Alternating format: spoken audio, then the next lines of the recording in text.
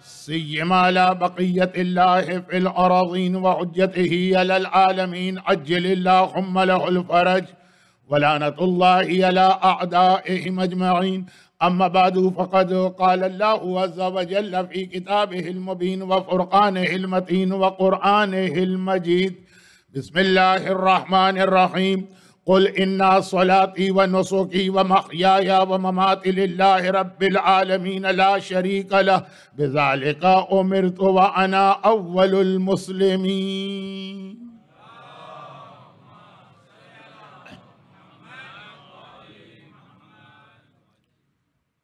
جس وقت میں خانے میں داخل ہوا تو بعض مومنین نے اس طرح گھور کے دیکھا کہ مجھے ایسا لگا کہ شاید لوگ یہ سمجھ رہے تھے کہ میرے آنے میں تاخیر ہو گئی، شاید۔ کافی پہلے میں آ چکا تھا، لیکن کچھ پارکنگ کا مسئلہ، کچھ گاڑیوں کی اتنی لمبی قطار کہ داخل ہونا مشکل ہو رہا تھا، ورنہ بالکل اپنے وقت کے حساب سے، بلکہ وقت سے بھی دو منٹ پہلے حاضری دے چکا تھا۔ لیکن تین دن سے آپ دیکھ رہے ہیں کہ وقت بچانے کے لیے میں خطبہ بھی مختصر تلاوت کر رہا ہوں اور تمہید بھی کوئی نہیں ہوتی ہے براہ راست۔ مجلس کا آغاز ہو جاتا ہے، لیکن صرف یہ یاد دلاتے ہوئے کہ قرآن کریم کے سورہ انعام کی جس آیت کی آج تلاوت کی گئی، یہ اسی ہمارا جو خود بخود ایک موضوع بن گیا ہے، جس سبجیکٹ پہ بات ہو رہی تھی، وہ تو تھا حکومت معصوم یا حکومت امام۔ اور یقیناً اس کے اندر موجودہ حالات کو دیکھتے ہوئے امام زمانہ کے حوالے سے بھی کچھ باتیں عرض کرنا تھیں۔ اور ابھی بھی ہمارے پاس وقت ہے نیکسٹ ویک مگر ابتدائی چند تقاریر۔ اطاعت کے حوالے سے کچھ اس انداز سے طویل ہوتی چلی گئیں کہ ہمیں دوسرے حصے میں جانے کا موقع ہی نہیں مل رہا۔ اور اطاعت کے حوالے سے جو دو دن گفتگو ہوئی ہے، قرآن کریم کی آیت، سورہ نام یہ بہت ہی واضح طریقے پہ اسی پیغام کو بیان کر رہی۔ قل، کہہ دو، انا سلاتی میری نماز۔ دو دن سے یہ نماز کا تذکرہ بھی ہو رہا تھا اور یہ وضاحت بھی کی جا رہی تھی کہ نماز جس کا ایک نہیں، دو نہیں، پچاس نہیں، پچاس ہزار نہیں، پتہ نہیں کتنے ملین فوائد بیان کیے گئے۔ اور یہ بھی کہا گیا ہے کہ اس میں سے اگر کوئی بھی فائدہ نہ ملے تب بھی نماز پڑھتے رہو۔ اب یہ بات جو ہے وہ ذرا سی پھر ہمیں اپنے اصل موضوع سے ہٹا دے گی۔ لیکن چونکہ آج کل یہ شوق ہوا ہے بچوں اور نوجوانوں کو جو ہماری تقریر میں تو نہیں ہوتے ہیں، لیکن بہرحال گھر آپ جاتے ہیں، شاید ڈسکشن ہوتا ہو کہ اسلامی عبادتوں کی فلسفی یا لاجک یا حکمت معلوم کی جائے کہ بھئی ہم نماز پڑھتے ہیں تو وائے اور روزہ رکھتے ہیں تو وائے۔ تو یہ ایک پیغام بہت ضروری ہے کہ جو بھی آپ کو اس کا فائدہ بتایا جائے، چاہے کوئی بہت بڑا ریسرچ اسکالر اپنی ریسرچ پیش کرے۔ اور چاہے معصومین کی احادیث ہو، چاہے قرآن کی آیت ہو، وہ فائدے ملے کہ نہ ملے، عبادت ہمیں انجام دینا ہے۔ اور یہ بھی نہیں سمجھنا ہے کہ ہماری عبادت بیکار ہے۔ مثلا، ان صلاة تنہان الفاشاء والمنکر، نماز تمہیں بے حیائی کے کاموں سے بچاتی۔ اور اگر نماز بھی ہے اور بے حیائی کے کام بھی چل رہے ہیں، تو یہ تو کہا جا سکتا ہے کہ نماز کا پورا بینیفٹ ہم نہیں لے رہے۔ لیکن یہ نہیں کہا جا سکتا ہے کہ تمہاری نمازیں تو بیکار اور تمہاری کا لفظ تو مناسب نہیں ہے، یہ نہیں سوچا جا سکتا ہے کہ ہماری نمازیں بیکار اب باتیں تو بہت زیادہ اس میں نکل کے آ جائیں گی۔ فی الحال دو دن سے جہاں پہ ہم رکے ہوئے ہیں، جلدی سے اس بات کو مکمل کر کے پھر اس کے اگلے مرحلے میں داخل ہوں۔ جو میں نے عرض کیا تھا، ظہور امام کی ایک بہت اہم نشانی اسی اطاعت کے حوالے سے۔ مگر وہاں تک پہنچنے کے لیے یہ دو دن کا بیان تو قرآن نے کہا، قل، کہہ دو انا صلاتی میری نماز۔ وہ نو سو کی۔ پھر اگلا مرحلہ، خالی نماز ہی نہیں، میری جتنی عبادتیں۔ وہ سب اللہ کے لیے ہیں اور پھر اگلا مرحلہ، کہ عبادتیں کیا؟ یا میری ساری زندگی اللہ کے لیے۔ اور پھر زندگی کیا؟ وہ مماتی میری موت بھی اللہ کے لیے۔ مرنے میں بھی ہمیں اللہ نے آزادی نہیں دی ہے، اختیار نہیں دیا ہے، کوئی آپشن ہمارے پاس نہیں ہے۔ اب یہ تو آپ کہیں گے موت تو ہمارے اختیار میں نہیں ہے۔ لیکن نہیں، فرض کیجیے بعض ایسے واقعان، خوش عقیدہ صاحبان ایمان ہیں کہ امام کے نام پہ مر جانا اور اپنی اولاد کو قربان کر دینا ان کے لیے کوئی مسئلہ نہیں۔ لیکن اگر کہا جائے کہ رک جاؤ کون کہے؟ ہم آپ نہیں، امام کہیں۔ مالک اشتر خیمے کی تیسری رسی کاٹ رہے ہیں، رک جاؤ۔ تو وہیں پہ انسان جیسے مشین رک جاتی ہے، اس طریقے سے رک جائے۔ موت بھی اپنی مرضی کی نہیں کہ مولا، اس نے آپ کی توہین کی ہے، مجھ سے برداشت نہیں ہو رہا ہے میں اپنی جان دے رہا ہوں۔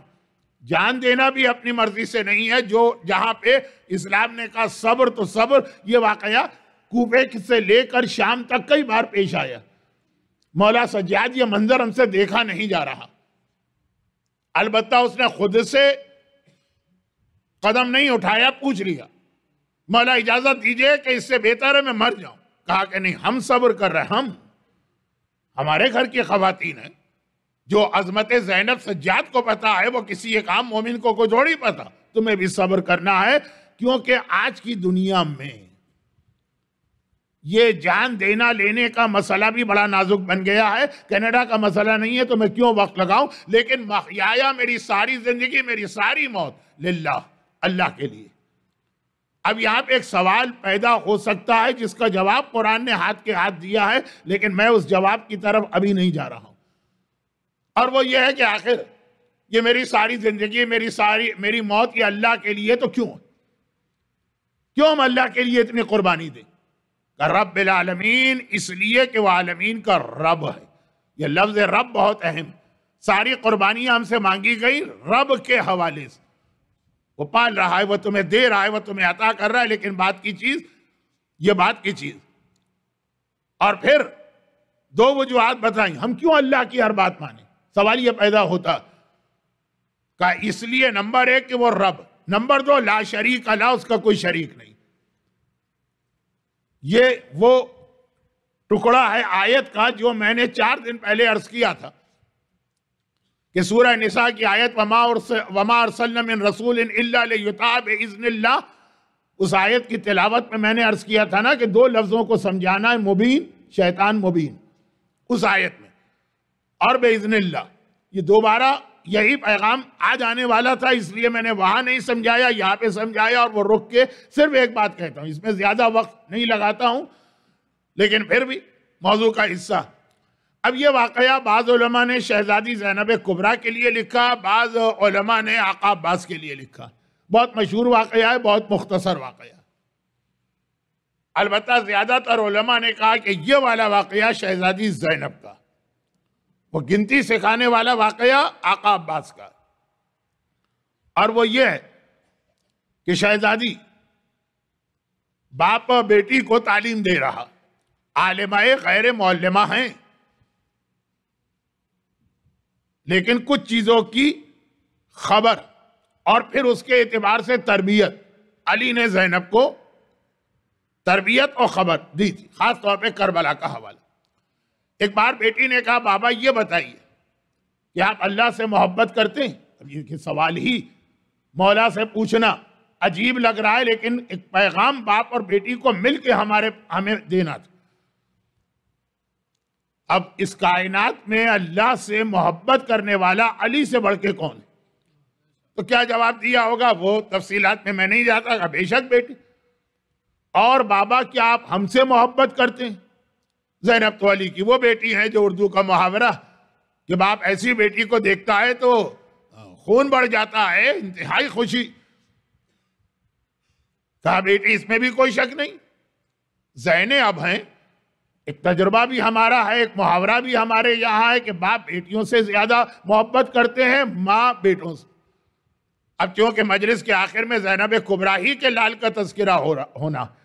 وہ بیٹے تھے، ماں کی محبت، آغاز میں خود بخود۔ بیٹی ہے اور باپ سے سوال کر رہی کہ ہم سے محبت کرتے ہیں، کہاں؟ کہا تو بابا بتائیے، ایک دل میں دو محبتیں کیسے جمع ہو رہی ہیں؟ اللہ سے محبت ہے یا ہم سے محبت؟ اگر دونوں سے محبت ہے تو ایک دل میں یہ دو محبت محبت اس کو کہتے ہی نہیں۔ اٹیچمنٹ کہہ سکتے ہیں، کسی سے متاثر ہونا کہہ سکتے ہیں، لیکن محبت جو ہے وہ ایک دل میں ایک ہی آئے گی۔ اب ایک سوال کیا جا رہا ہے اور یہ سوال اس لیے میں نے عرض کیا کہ آیت دونوں آیتیں جو دو دن پہلے تلاوت کی، جو آج تلاوت کی۔ اس کے پیغام کو مکمل کرنا ہے اور کل رات کی مجلس جہاں تک پہنچی تھی، اس کو بھی اسی سے آگے بڑھانا۔ یہ تین چیزیں جمع ہو رہی ہیں تو مختصر واقع بابا یا اللہ سے محبت یا ہم سے محبت۔ ایک دل کے اندر دو محبتیں کیسے جمع ہوتی؟ ہیں اور واقعا اگر ایک دل میں دو محبتیں جمع ہو جائیں، تو جب محبتیں آپس میں ٹکرائیں گی، وہ اطاعت کا مشکل مرحلہ جو کل بات گزری۔ اللہ کچھ کہہ رہا ہے، اولاد کچھ کہہ رہی۔ اللہ کچھ کہہ رہا ہے، بیوی کچھ کہہ رہی۔ اللہ کچھ کہہ رہا ہے، رشتہ دار کچھ کہہ رہے اور اگر ذرا سا میں اس کو جیسے اس وقت میں نے بہت عام سی مثالیں دے دی ذرا سا میں اس کو تاریخی حوالہ دے دوں۔ تو تاریخ میں بھی بعض واقعات ایسے ملتے ہیں، مثلا مختل کی مشہور ترین روایتوں میں سے ایک۔ زلجنہ کا امتحان۔ ہمارا اور آپ کا نہیں زلجنہ کا امتحان۔ دو محبتیں ٹکرا رہی ہیں۔ حسین کہہ رہے ہیں مختل کی جانب چلو، سکینہ کہہ رہی ہے کہ مت چلو۔ رک جاؤ۔ بہت مصاحب کی روایت ہے اور واقعا ایسی روایت کہ آدمی سنتا ہے اور آنکھوں میں آنسو آتے ہیں، لیکن وہ تو انشاءاللہ میں عاشور کے دن زندہ رہا تو پڑھوں گا، لیکن اب یہاں دو دو حکم ٹکرا رہے ہیں۔ دو محبتیں ٹکرا رہی حکم اس لیے ٹکرا رہے ہیں کہ دو محبتیں ٹکرا رہی زلجنہ حسین سے بھی محبت کرتا ہے زلجنہ سکینہ سے بھی محبت کرتا زلجنہ حسین کا حکم بھی نہیں ٹال سکتا زلجنہ سکینہ کا حکم بھی نہیں ٹال سکتا۔ اب یہ والا پیغام۔ یہ ہے لا شریک اللہ کی آج وضاحت، یہ ہے دو دن پہلے بے اللہ کی وضاحت۔ اور یہ ہے زینب کبرا کا سوال کہ بابا، ایک دل میں دو محبتیں آ ہی نہیں سکتی ہیں، کیسے آ رہی؟ اور اس کے بعد پھر اس سے پہلے کہ باپ جواب دے، بیٹی نے خود ہی جواب دے دی۔ کہا ہاں، کہا کہ ہاں بابا، مجھے پتا یہ دو محبتیں نہیں ہیں، محبت صرف اللہ کی ہماری محبت بھی اللہ کی وجہ سے۔ ہماری محبت بھی اللہ کی وجہ سے۔ یہاں یہاں یہاں تک کہ اب ہمارا عقیدہ ہے کہ مولا سے بھی محبت کرتے ہیں، اللہ کی وجہ سے، رسول سے بھی محبت کرتے ہیں، اللہ کی وجہ سے۔ ساری محبتوں کا اختتام اللہ ہے، اطاعت اصل میں وہی ہوتی۔ اور چونکہ یہ دو محبتیں کبھی نہیں ٹکرائیں گی، کیونکہ رسول سے محبت بھی اللہ کی وجہ سے۔ تو رسول جو کہیں گے وہی ہوگا جو اللہ نے کہا ہے، علی کی محبت بھی اللہ کی وجہ سے۔ مجھے پتا ہے کہ جملہ بعض لوگ ابھی سمجھ بھی نہیں پا رہے ہوں گے۔ لیکن باقی جو محبتیں جہاں ٹکراؤ ہوتا ہے، وہاں یہی پرابلم آتا۔ کہ اب دو دو محبتیں ہیں تو دو اطاعتیں آ گئی اور دو اطاعتیں آ گئی تو اس کا ٹکراؤ آ گئے۔ اور ٹکراؤ آ گیا تو قرآن کی آیت آ گئی۔ دیکھیں اب وہ آیت دوبارہ میں تلاوت کر دوں۔ وما وما ارسلنا من رسول اللہ لیتا ہم نے رسول بھیجا تاکہ اس کی اطاعت کرو بے اذن اللہ۔ اطاعت رسول بھی کرو اللہ کی وجہ سے۔ اور یہاں بھی یہی پیغام، للہ رب العالمین، میری زندگی اللہ کے لیے لا شریک اللہ۔ اس لیے کہ اس کا کوئی شریک نہیں ہے۔ دو ذاتیں نہیں ہیں کائنات میں کہ ہم اس کی بات بھی مانیں اور اس کی بات بھی مانیں۔ بات صرف ایک کی مانیں گے، وہ رب بھی ہے۔ اس کو سمجھانے کا وقت نہیں۔ اور اس کا کوئی شریک بھی نہیں ہے۔ بزال کا عمر، یہ ہے اطاعت کا۔ آج سمجھئے آخری پہلو۔ بزال کا عمر تو اس نے حکم دیا، انا اول المسلمین، میرا کام ہے سر جھکا کے اس کا حکم مان لینا۔ لیکن قرآن کریم نے مثال کیا دی اسی آیت میں۔ اسی آیت میں مثال کیا دی، میری نماز اللہ کے لیے ہے اور میری ساری زندگی۔ نماز کو ذریعہ بنایا زندگی بھر کی اطاعت کا۔ جیسے نماز میں آپ اللہ کی آنکھیں بن کر کے اطاعت کرتے اور الحمدللہ، ہم تو مجلس کی برکت سے واقعات جانتے کہ ایسے لوگ بھی عالم اسلام میں گزرے کہ نماز میں بھی اللہ کی عبادت نہیں ہے، اگر فجر کی نماز دو کی چار پڑھا دی تو پڑھ لی لوگوں نے۔ یہ اللہ کی اطاعت نہیں ہے، اطاعت حکمران کی اطاعت۔ لیکن ہمیں اور آپ کو معلوم ہے کہ ہمارے پاس نماز کی حد تک کسی اور کی اطاعت نہیں۔ اچھا اب ہمارے یہاں بھی نماز کے اندر بہت زیادہ انٹرفیرنس شروع ہو رہا ہے، دخل مداخلت شروع ہو رہی، لیکن اس میں وہ مومن اپنی جگہ سمجھتا ہے کہ اللہ نے اس طرح کی نماز بتائی۔ تو جیسے نماز آپ ایسی ہی پڑھیں گے جیسی اللہ کہہ رہا۔ یہ ٹریننگ جب کھڑا کرے گا اللہ نماز میں تو ہم کھڑے ہو جائیں گے، جب وہ زمین پہ جھکا دے گا، جھک جائیں گے، جب زمین پہ گرا دے گا، گر جائیں گے۔ وہ دو دن بعد ہو گئی اس کو دہرانا مقصد نہیں۔ قرآن نے کہا، اسی طرح سے تمہاری ساری زندگی۔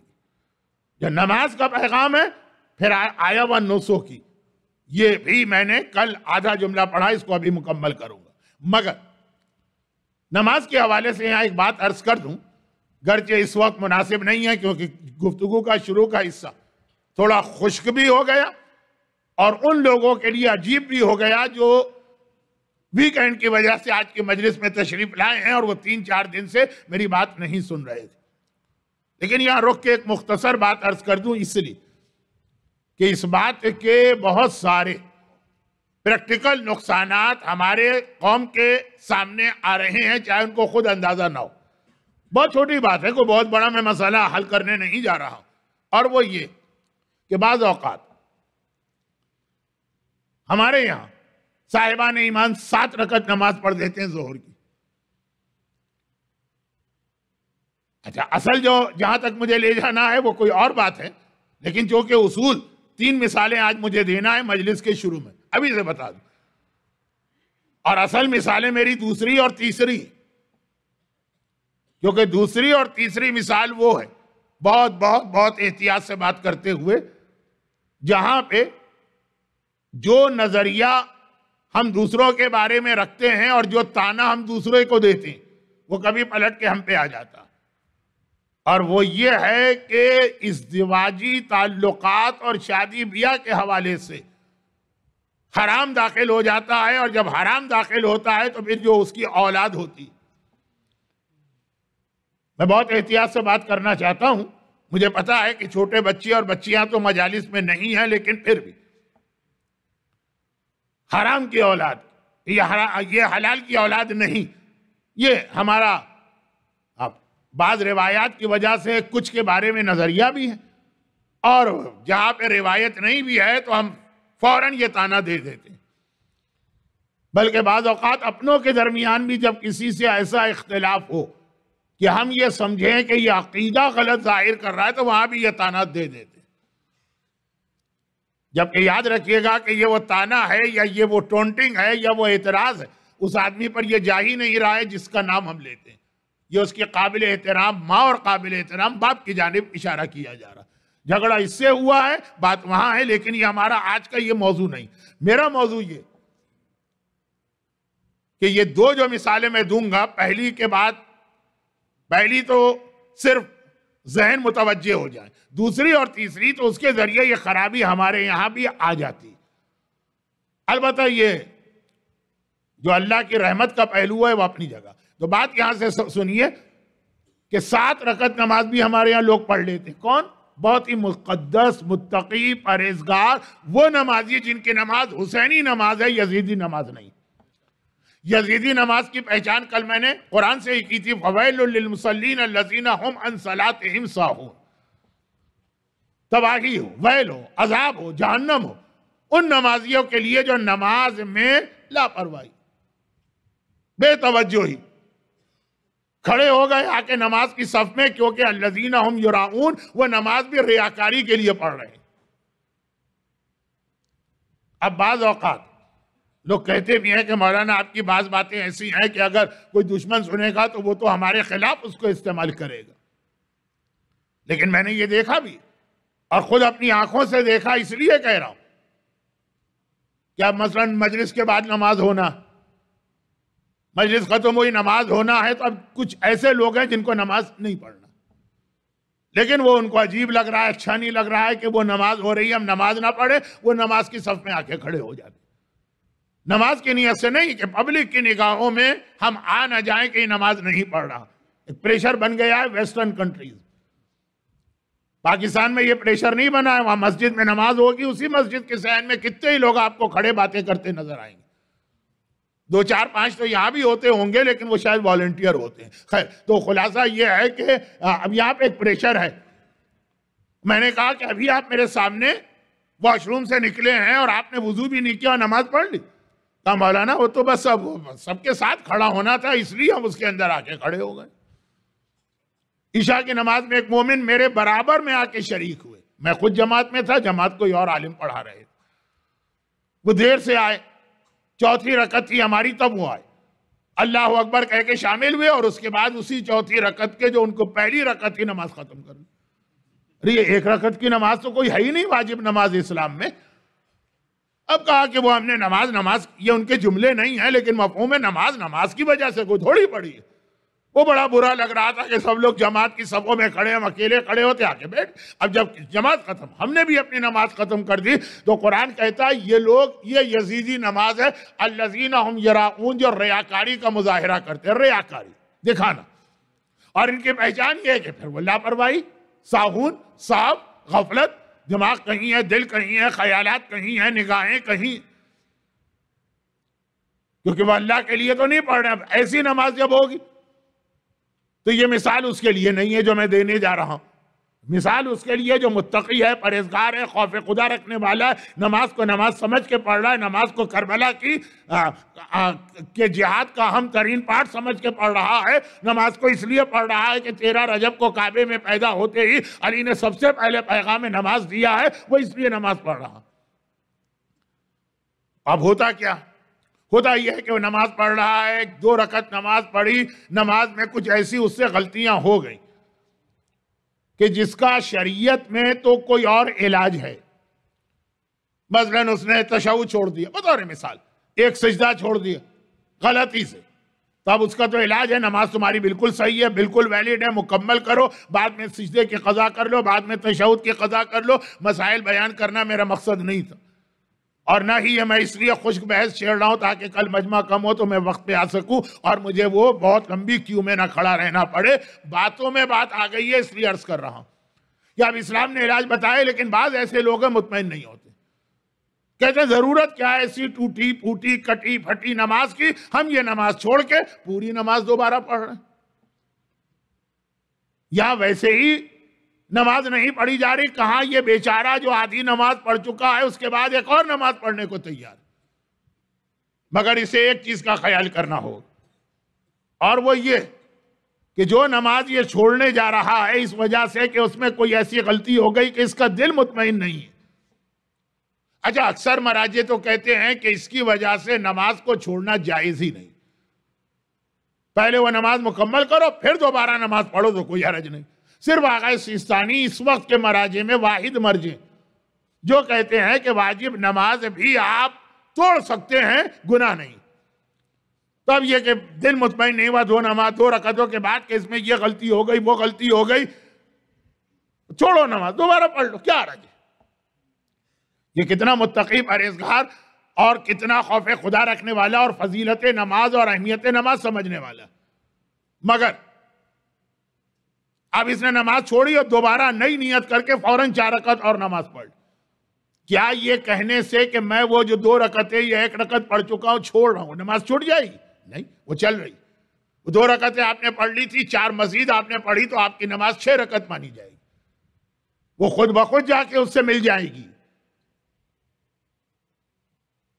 جیسے کئی جگہ پہ ایسا ہوتا بینک اکاؤنٹ تھا میرا اپنے بیٹے کے نام پہ پھر وہ بیٹا بڑا ہو گیا، میں نے کہا نام نکالنا ہے، میں اپنا اکاؤنٹ الگ اس کا نام نکال دو، کہا نہیں، پہلے وہ اکاؤنٹ کینسل ہوگا، اس کے بعد ایک نیا اکاؤنٹ کھلے گا آپ کے نام سے۔ ایئر لائن کا ٹکٹ تھا، ذرا سا پھر وہ دوسری کچھ دعوتیں آ گئی تو اس کو تھوڑا سا بدلنا پڑا۔ مثلا ٹورنٹو سے واپسی تھی، کہا کہ نہیں، مونٹریال سے واپس ہونا ہے، کہا پہلے یہ ٹکٹ کینسل ہوگا، پھر نیا ٹکٹ ایشو ہوگا۔ ساری باتیں ویسی ہوں گی جیسے آپ چاہتے ہیں، لیکن پہلے وہ کینسلیشن پھر نماز کا بھی یہی اصول۔ پہلے وہ دو رکعت نماز کینسل کرو، اور اس کے بعد نئی نماز پڑھو تو یہ سیپریٹ ہو جائیں گے۔ وہ کینسل تو ہم نے کر دی تھی۔ یہ خیال کر کے کہ بھائی چھوڑو اس کو۔ اس کا خیال کرنے سے کینسل نہیں ہوتی ہے۔ باقاعدہ وہ نماز توڑو۔ نماز کیسے ٹوٹتی ہے؟ منہ ہٹا لو۔ نماز کیسے ٹوٹتی ہے؟ کچھ کھا لو۔ نماز کیسے ٹوٹتی ہے؟ جان بوجھ کے قیقہ لگا دو۔ پہلے وہ دو رکعت توڑو، اس کے بعد جب نماز پڑھو گے تو یہ اب نماز نہیں مانی جائے گی۔ اگر وہ نماز توڑے بغیر صرف دل میں خیال کیا کہ اس کو چھوڑ کے نئی نماز پڑھ رہے ہیں، وہ رکعتیں بھی نئی رکعت سے مل کر چھ، سات، آٹھ رکعت کی نماز بنا دے گی اچھا اب یہ غلطی اپنی جگہ غلطی ہے، لیکن اس سے نماز غلط ہے۔ اب آگے آئیے اگلا مرحلہ۔ حج اگر کسی کا غلط ہوتا ہے تو حج تو شروع اس بات پر ہوتا ہے کہ بیوی آپ پہ حرام ہے، بیوی پہ اس کا شوہر حرام۔ یہ حلال ہوگا جب حج صحیح طریقے سے مکمل کرو گے۔ میں بہت اسٹرانگ مسئلہ نہیں بنا رہا ہوں۔ لا علمی کی وجہ سے اگر غلطیاں ہو جائیں تو ہمارے یہاں وہ گناہ بھی نہیں مانا جاتا، وہ اولاد بھی غلط نہیں مانی جاتی۔ لیکن جو تانا ہم دوسروں کو دیتے ہیں کہ جب آپ نسا نہیں کرتے، اولاد حرام ہے، وہ تانا اس میں بھی آتا ہے۔ وہ کیا؟ اور آج کل یہ بہت ہو رہا۔ خانہ کعبہ کے گرد گھومنا حج کا لازم حصہ، ہر ایک کو معلوم۔ یہ مجلس تو لگ ہی نہیں رہی ہے، لیکن چونکہ نماز اور حج اطاعت کی ایک ٹریننگ ہے، جس طرف میرا موضوع جا رہا تھا۔ اور پھر آخری مثال تو میں دوں گا جو لشکر امام میں شامل ہونے کی ٹریننگ۔ تین مثالیں تھیں۔ اور تینوں مثالوں کا خلاصہ ایک جملہ، کہ پہلے پہلے والی عبادت کو کینسل کرو، پھر دوسری عبادت شروع کرو تو یہ دوسری عبادت صحیح مانی جائے گی۔ اور اگر پہلے کو کینسل نہیں کیا، یہ اس کے ساتھ مل کے سارا معاملہ گڑبڑ ہوگا۔ خانہ کعبہ کا طواف۔ سات چکر لگانا۔ ابھی ہم نے چکر لگایا ایک چکر لگایا یا دو چکر لگائے۔ حج والے۔ یہ اس لیے بھی کہا کہ خانہ کعبہ کا طواف بغیر حج کی نیت کے بھی آپ کر سکتے ہیں، بلکہ وہ تو وہاں کی اہم ترین عبادت ہے، وہ سنت طواف نہیں جو حج کا حصہ۔ بہت زیادہ دھکے لگے، بہت پریشر مجمع کھایا۔ کہ اب آپ کنفیوز ہو گئے کہ میں نے جو دو راؤنڈ لگائے ہیں، یہ دو سرکٹ یہ دو چکر، یہ صحیح رہے کہ صحیح نہیں رہے؟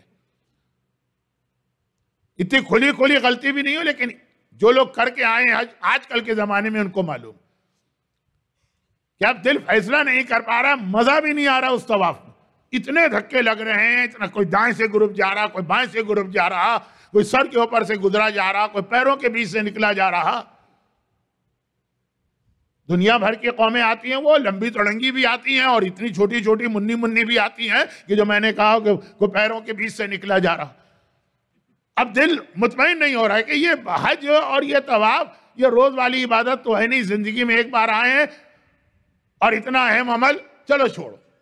دوبارہ نیت کر کے دوبارہ شروع کر دیتے۔ ہاں بس یہ ہو گئی گڑبڑ۔ دو چکر آپ نے لگائے ہیں، آپ نے کہا چھوڑو۔ نئے سرے سے آپ نے سات چکر لگائے، آپ کا طواف غلط ہو گیا کیونکہ آپ نے نو چکروں کا طواف کیا۔ وہ دو جو ہیں وہ خود بخود آپ کے یہ کہنے سے کہ چھوڑ دو، وہ چھوٹیں گے نہیں۔ وہ اسٹل ابھی باقی ہیں اپنی جگہ پہ۔ اور آپ نے پھر سات چکر لگا لیے تو اس میں مل کر یہ نو ہو گئے۔ طواف کے اندر، واجب طواف کے اندر یاد رکھیے گا، چکروں کی تعداد میں شک بھی ہو جائے تو وہ طواف بالکل غلط ہو جاتا، یا تو یقیناً آپ نے طواف میں دو چکر بڑھا دیے۔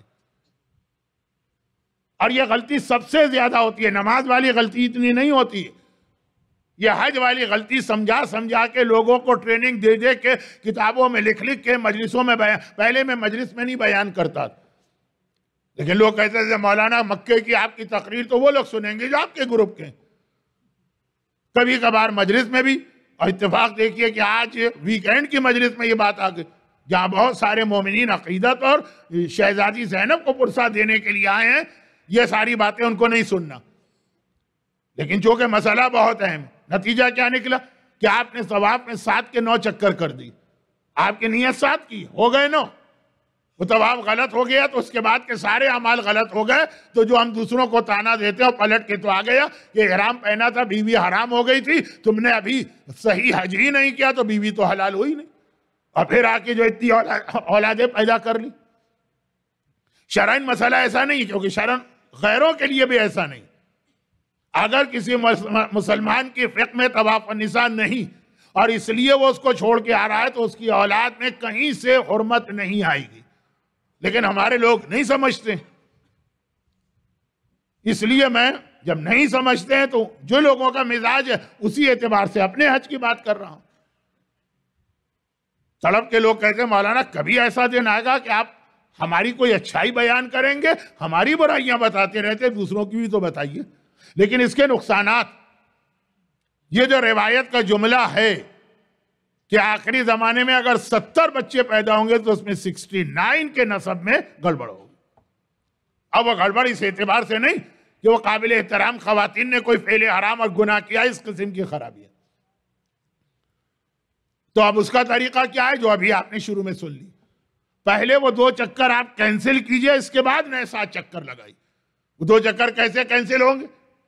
جو نماز کا طریقہ تھا کہ کیسے نماز کی دو رکعتیں کینسل ہیں، کوئی ایسا کام کرے جو نماز توڑ دیتے یعنی چہرہ ہٹا لے اسی لیے بہت سارے مومنین کرام ایسے ہیں جو ہر نماز کے اختتام پر اپنا چہرہ ہٹا دیتے ہیں تاکہ جو نماز آپ نے ابھی پڑھی وہ لیگلی اور آفیشلی کمپلیٹ مانی جائے۔ اب یہاں طواف کے اندر چہرہ ہٹانے سے تو طواف نہیں ٹوٹتا۔ جو چیزیں طواف توڑنے والی ہیں، ان میں سے کوئی ایک کام کر۔ مجمع سے نکل کے جائیے آدھے گھنٹے کے بعد آ جائیے آدھے گھنٹے کا گیپ اگر آ جائے چکروں کے بیچ میں، تو وہ طواف خود بخود کینسل۔ یا یہ کہ مجمع سے نکل کے جائیے، دو رکعت نماز پڑھ لیجیے، کوئی بھی۔ اگر طواف کے چکروں کے بیچ میں آپ نے نماز پڑھ لی ہے، تو وہ آپ کے جتنے چکر تھے، وہ کینسل ہو گئے۔ بہرحال کچھ نہ کچھ ایسا عمل کرنا ہوگا۔ اور میں آپ کو یقین دلاتا ہوں کہ پچھلے دو تین سالوں میں اتنا مجمع بڑھ گیا ہے طواف کے دوران کہ جو غلطی میں نے ابھی آپ کو بتائی ہے، یہ مور دین سیونٹی پرسنٹ مومنین اور مومنات کر کے آ رہے لا علمی ہے، جان بوجھ کے نہیں کر رہے، تو وہ نقصانات نہیں آ رہے، لیکن بہرحال حج مکمل حج نہیں رہا۔ اچھا یہ دوسری مثال، تیسری مثال تو دینے کی ضرورت نہیں کیونکہ یہ علماء آج کل بہت دیر ہے لیکن جب ایک ہی موضوع اور ہمارا موضوع اطاعت ہے، اس کے اندر نماز اور حج شامل تھا، تیسرا فی الحال شامل نہیں تھا۔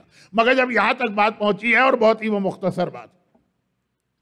بعض جگہوں پہ رواج ہے، میں کتنی احتیاط سے بات کروں کہ کوئی غلط میسج بھی نہ جائے اور صحیح مسئلہ بھی پہنچ جائے۔ بعض جگہوں پہ یہ رواج ہے کہ شادی سے پہلے بعض حرام چیزوں سے بچنے کے لیے لڑکے اور لڑکی کے درمیان سیغہ پڑھا دیا جاتا ہے یا ٹیمپریری میرج ہو جاتی ہے۔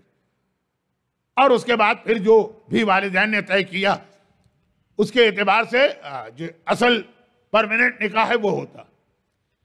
مگر وہاں بھی یہی غلطی ہو رہی کہ اگر وہ ٹیمپریری میرج کا پیریڈ چل رہا ہے، تو جب تک کہ وہ مکمل نہیں ہوگا پرمیننٹ نکاح جسے ہم لوگ نکاح کہتے وہ ہو ہی نہیں سکتا۔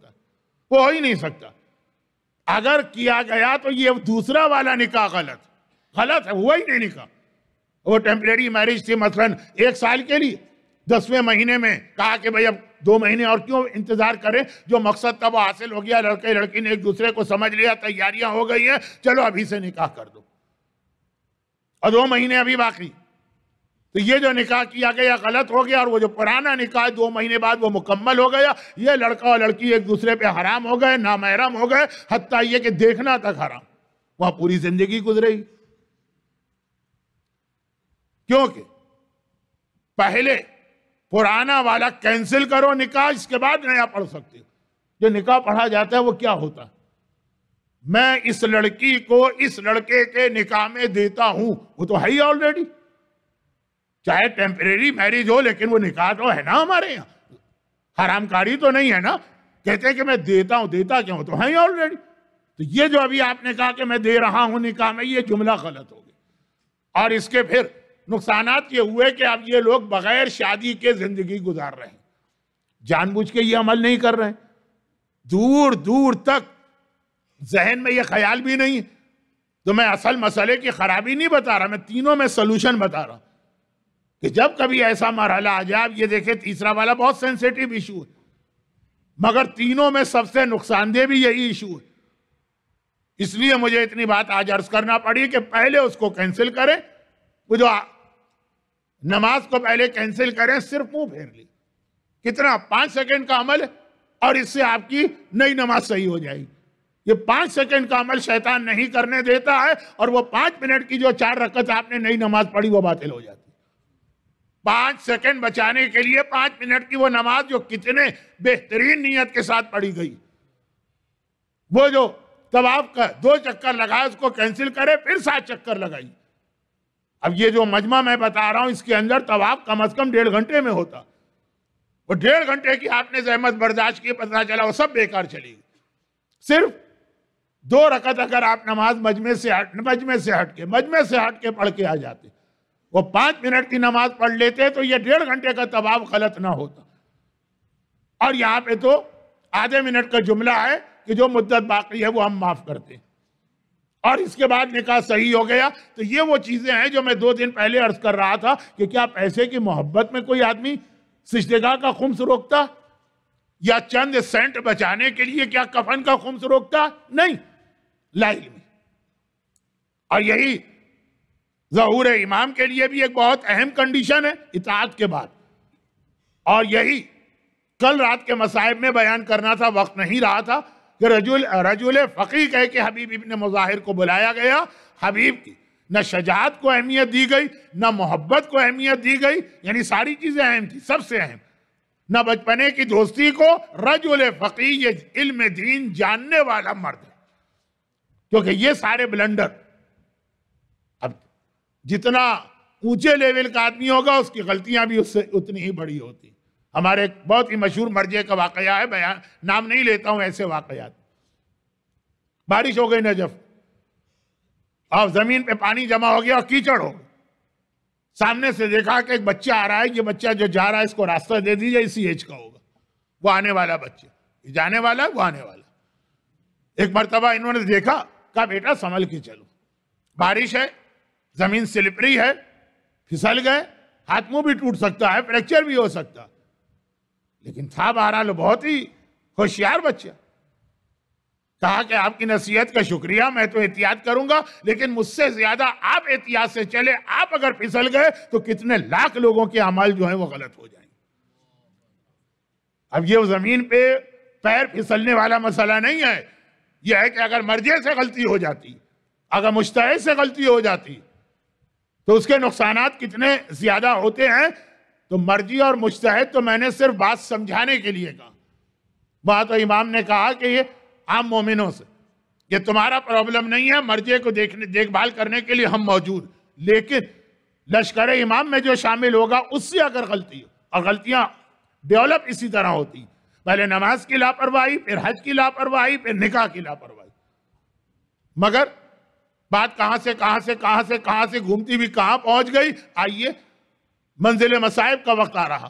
آئیے، اصل بات کو اختتام تک پہنچائے جائے کہ قرآن کریم نے یہاں محیا اصل ہم سے ڈیمانڈ کی پوری زندگی میں اللہ کی اطاعت کرنا۔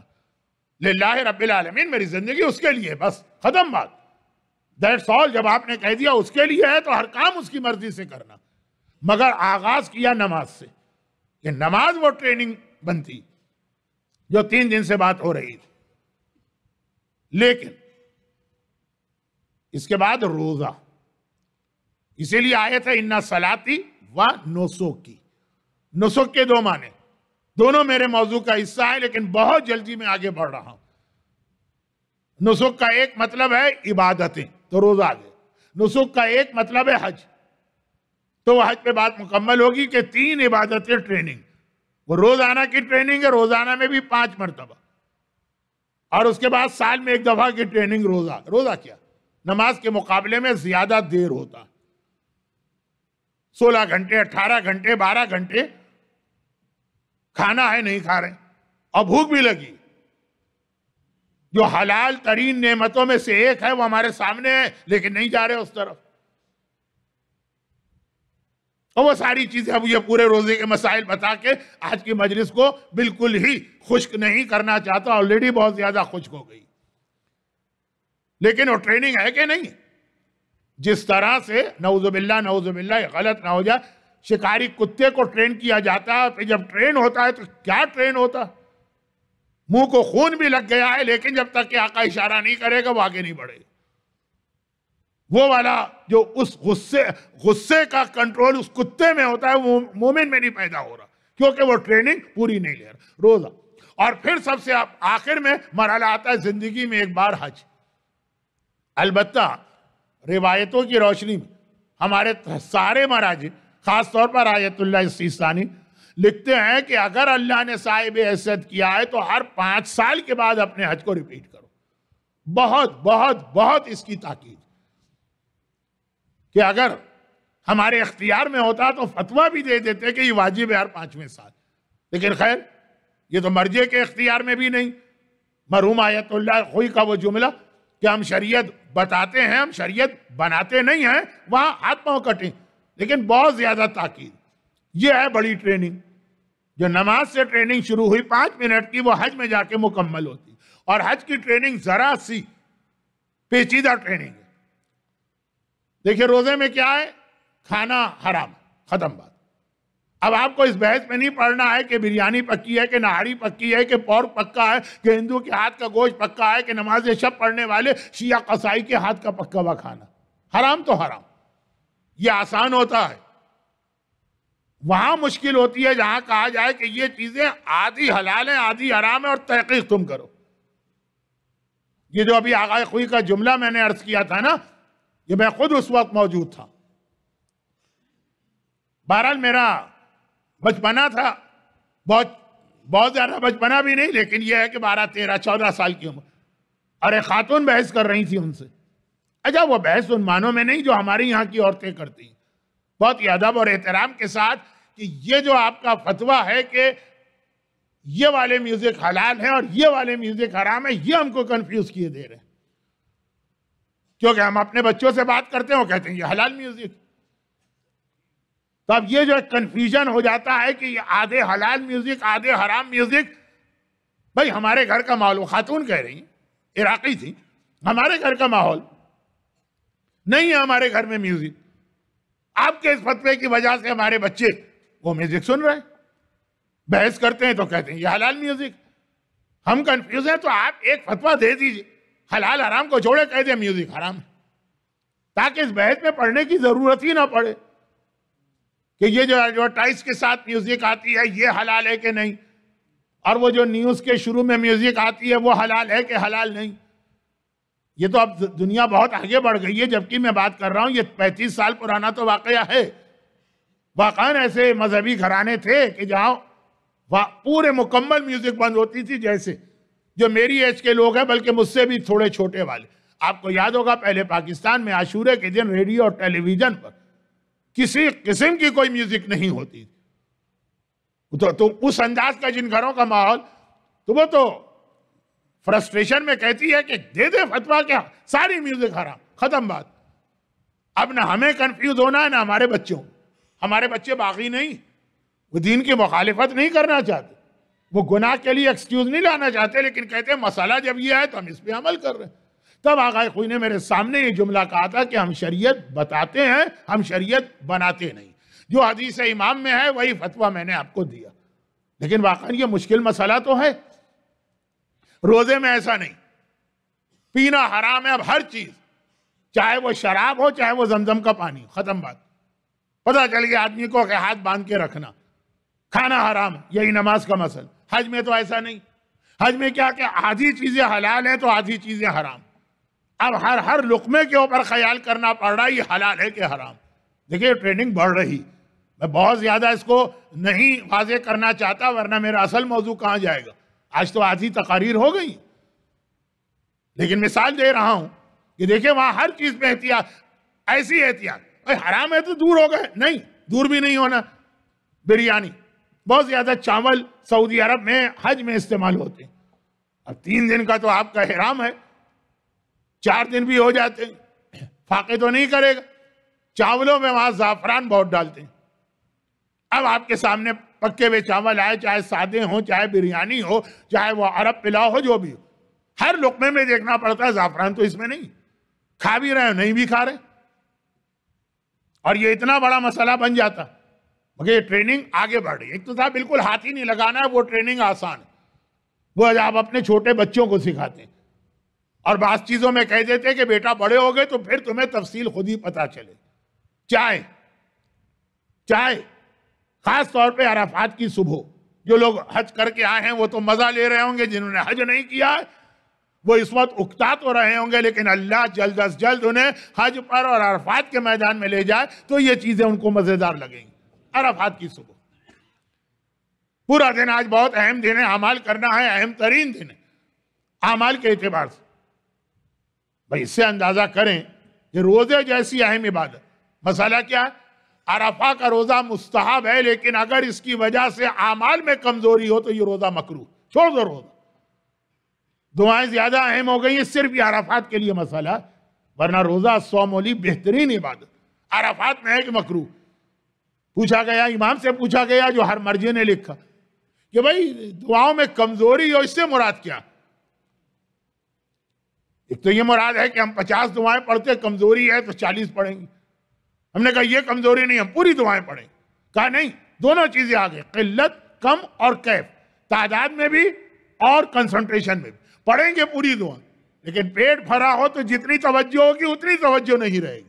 کہا چھوڑ دو، روزہ چھوڑ دو۔ عرفات کا سنت روزہ، چھوڑ دو۔ کیوں اعمال اہم؟ اب صبح کا وقت، چائے نہیں ملی ہے، سر میں درد ہو رہا۔ وہاں چائے کا انتظام ہے اور پتہ نہیں کیا۔ وہاں کا ماحول ہے کہ آج کل۔ بہت، میں پریکٹیکل مسئلہ بتا رہا ہوں ہر قافلے کو۔ یہ مسئلہ پیش آ رہا ہے اور ایک ایک حاجی پر پندرہ پندرہ بکرے صرف اس وجہ سے واجب۔ تفصیل میں نہیں جا رہا ہوں، یہ تو کچھ تقریری آج کچھ اور بن گئی، میں تو خود حیران ہوں، میں پڑھ کے آ رہا ہوں۔ میری خود سمجھ میں نہیں آ رہا، میں کیا پڑھ رہا ہوں؟ ہوتا یہ ہے کہ وہاں چائے میں الائچی ضرور ڈالتے ہیں۔ اور حالت احرام میں جو خوشبو حرام ہے، اس میں الائچی ٹاپ آف دا لسٹ زعفران اور الائچی۔ اب ہر گھونٹ میں خیال کرنا پڑتا ہے کہ پتہ نہیں اس میں الائچی ہے اس چائے میں کہ نہیں۔ یا تو بالکل چھوڑ دو، پینا ہی نہیں ہے چائے۔ یا بالکل فری ہینڈ کی اجازت اب بیچ کی بات آ گئی کہ نہیں، ہر گھونٹ پہ چیک کرنا ہے، ہر لقمے پہ چیک کرنا۔ یہ وہ ٹریننگ بڑھ رہی ہے، اطاعت کی ٹریننگ۔ اب واقع جہاں پہ لوگ جن کو یہ مسئلہ ان کے قافلے والے بتاتے ہیں۔ بعض جگہ تو مسئلہ بتایا بھی نہیں جاتا۔ قافلے والے کہتے ہیں کہ بھائی ہم مسئلہ بتا دیں گے اور وہاں چائے تو الائچی ہی کی بنا کے وہ عرب دے گا۔ تو مصیبت ہماری ہوگی کہ لوگ کہیں گے بغیر الائچی والی چائے لے کر آئی آپ ہیں قافلے کے لیڈر۔ کون اس زحمت میں پڑے؟ وہ جانے، ان کا کام جانے۔ آدھی حد تک یہ بات صحیح بھی ہے، پوری نہیں۔ تو آپ مسئلہ یہ کہ ہر لقمے پہ احتیاط، ہر گھونٹ پہ احتیاط۔ اور یہ تو میں نے بہت جلدی جلدی کی مثالیں دے دی آپ کہیں گے جلدی کی مثالیں، ایک گھنٹہ لے گئی تو دیر کی مثالیں کتنی ہوتی ہیں؟ سورہ بقرہ سے آدمی گھبراتا ہے، سورہ فیل کو دیکھ کر ہاتھی اور بقرہ اور گائے، لیکن میں ادھر نہیں جا رہا، بات کو ختم کرتا ہوں۔ حج ٹریننگ بڑھ گئی۔ تین دن تو مسلسل آپ کا حرام رہتا۔ خوشبو جو ہے وہ حرام اترنے کے بعد بھی حرام ہے، ہر ایک کو پتا۔ مجھے بتانے کی ضرورت نہیں۔ تو اب یہ ساری ٹریننگز وہ ہیں جو آپ کو اصل میں لے جاتی ہیں اطاعت کا۔ اس کا مقصد یہ ہے کہ یہ خالی مسلح کی حد تک تم نہیں ہو اطاعت گزار۔ اور خالی خانہ کعبہ کی حد تک نہیں ہو تم اطاعت گزار۔ اب تمہیں یہی جذبہ پوری زندگی میں نافذ کرنا ہے۔ اِنَّا صَلَاةِ وَنَسُكِ وَمَحْيَايَ وَمَمَاتِ لِلَّهِ رَبِّ الْعَالَمِينَ عَلَى شَرِيكَ لَا بِذَالِكَ وَمِرْتُ وَانَا اول المسلمین۔ میری نماز بھی پوری اللہ کے لیے، میری زندگی بھی پوری اللہ کے لیے ہے۔ اس نے حکم دیا ہے، میرا کام اس کے حکم کو ماننا۔ یہ منزل ان عبادتوں کے ذریعے سے ہمیں اور آپ کو بتائی جاتی۔ ہے اور جیسا کہ میں نے جملہ اس سے پہلے عرض کیا کہ اس کی بہترین اور مکمل ترین مثال میدان کربلا۔ جتنی مکمل اطاعت امام آپ کو وہاں پہ نظر آئی، یہ جتنی مثالیں دی جا رہی وہ سب آپ کو میدان کربلا میں نظر آ رہی ہیں۔ یہاں رک کر۔ اب اطاعت ہی کے حوالے سے ایک چھوٹی سی بات۔ مولائے متقیان پر جو اعتراضات عام مسلمانوں نے بھی کیے دیکھیں علی کی محبت تمام مسلمانوں میں مشترک نظریہ، تمام مسلمانوں میں مشترک عقیدہ۔ پورا عالم اسلام مانتا، جو نہیں مانتے ہیں ان کو عالم اسلام اسلام سے خارج بھی سمجھتا۔ علی کی محبت، لیکن علی سے محبت کرنے والوں نے میرے مولا کی ظاہری خلافت کے حوالے سے میرے مولا پر کچھ اعتراضات کیے۔ اب میں وقت نہیں ہے تو میں جملوں کو بنا سوار کے نہیں پیش کر رہا ہوں۔ اور اپنی قوم کی ٹریجڈی بھی بیان کر دوں۔ آج دنیا کے بہت سے علاقوں میں انکلوڈنگ ٹورنٹو میرے مولا کے حوالے سے صاحبان ایمان میں کچھ انٹلیکچوئل اور پڑھے لکھے ہیں جو ہفتے میں یا مہینے میں ایک دن جمع ہوتے ہیں۔ اور علی کی غلطیاں جو ہیں، وہ ڈھونڈ ڈھونڈ کے نکالتے ہیں کہ میرے مولا نے کہاں کہاں پہ وہ غلطیاں کی جس کے نتیجے میں اس وقت عالم اسلام اور عالم تشیع مصائب میں مبتلا۔ انکلوڈنگ ٹورنٹو لیکن بہرحال وہ غلطیاں، نعوذ باللہ، علی کے کردار کے حوالے سے نہیں وہ جو ایک دا ایک آدھ روایت بعض مسلمانوں نے لکھ دی وہ صاحبان ایمان کا موضوع نہیں، کہ نعوذ باللہ وہ جو ڈاکٹر اسرار احمد کا مسئلہ تھا اور شراب کی آیت اور نماز کی آیت، میں تو اسے توہین سمجھتا ہوں۔ لیکن یہ علی کی سیاسی غلطی کہتے ویسے، کردار کے اعتبار سے تو علی سے بہتر کوئی گزرا ہی نہیں ہے اس کائنات میں۔ اگر ہمارا عقیدہ نہ ہوتا، مجمع میں کچھ لوگ اختلاف کریں گے، لیکن بہرحال شیعت کا عقیدہ کہ رسول اللہ علی سے افضل ہے اگر یہ عقیدہ نہ ہوتا تو جو حالات اور واقعات ہمارے پاس علی کے حوالے سے ہیں، تو شاید یہ چیزیں رسول کی سیرت سے بھی ہم کو بلند نظر آتی۔ لیکن وہ ہمارا عقیدہ اور عقیدہ بھی بنا بنایا نہیں ہے دلیلوں کے ساتھ۔ خیر، تو میرے مولا، کہا کہ نہیں، ذاتی کردار وہ بہت سی جگہوں پہ یہ مسئلہ پیش آتا۔ وہ فلاں آدمی کا وہ بہت اچھے آدمی، لیکن اس پوسٹ کے اہل نہیں۔ آدمی بہت اچھے ہیں۔ میں تو مذہبی آرگنائزیشن کے حوالے سے بات کرتا ہوں۔ کہ ٹھیک ہے، وہ مذہبی آرگنائزیشن ہے، بہت ہی اچھا متقی، مقدس، دیانتدار آنےسٹ آدمی۔ لیکن ایک ادارہ چلانے کے لیے جو کیپیبلٹیز ہیں، جو صلاحیت ہے وہ ان میں نہیں۔ مولا پہ یہ اعتراض۔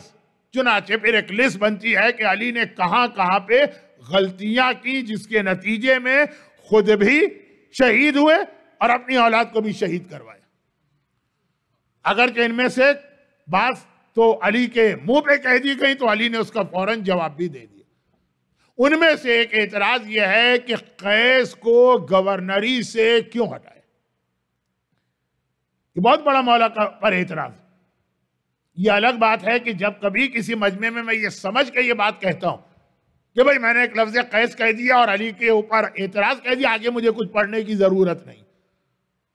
جیسے ابھی دو مرتبہ میں نے پانچ مجلسوں میں اتنا کہہ دیا، مالک اشتر، خیمے کی رسیاں کاٹ رہے تھے، واقعی ہر ایک کو پتا ہے، چنانچہ آگے مجھے کوئی بیان کرنا ہی نہیں پڑا۔ لیکن پتہ نہیں کیا بات ہے کہ بہت سی جگہوں پہ آدھے سے زیادہ مجمع نے کہا کہ یہ قیس ہیں کون؟ اور یہ کون سے ہٹائے جانے کی بات؟ ویسے تو لیلہ مجنون والے مجنون کا نام بھی قیس عمری ہے، لیکن یہ جو قیس ہے، بہت اہم شخصیت مولا پہ بہت بڑا اعتراض لیکن میں یہ خیال کرتے ہوئے کہ اس وقت میں کونسل آف اسلامک گائیڈنس کے سینٹر میں اس مجمع سے بات کر رہا ہوں۔ جو بہت ہی پڑھا لکھا، مجھ سے زیادہ معلومات رکھنے والا، اتنے علماء کو سننے والا۔ تو اس لیے میں اس جملے کی آگے تشریح نہیں کرتا ہوں۔ لیکن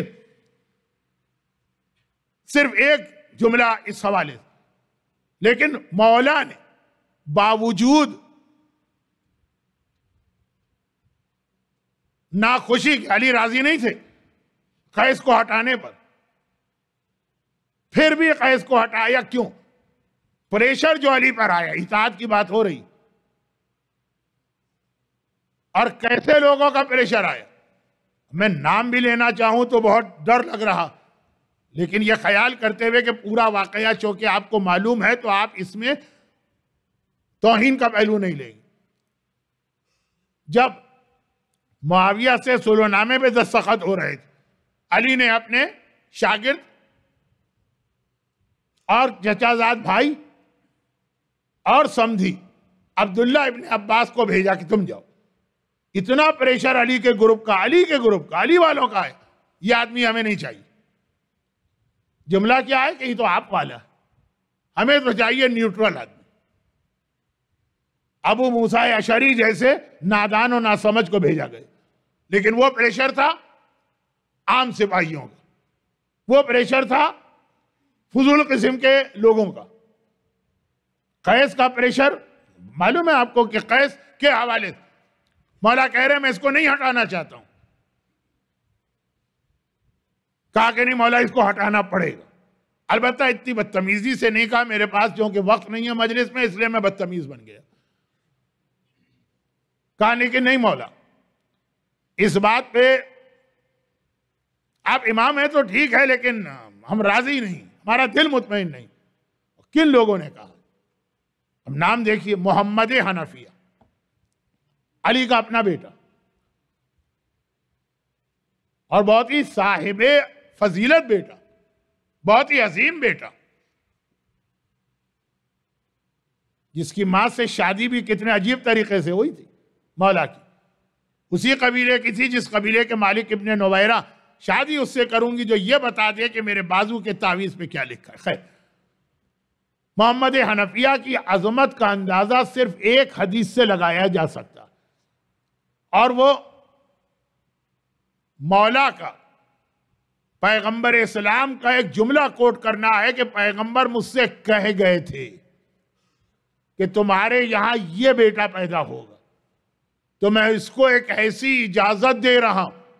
جو اجازت اس کائنات میں صرف میرے لیے ہے یا آخری امام کے لیے؟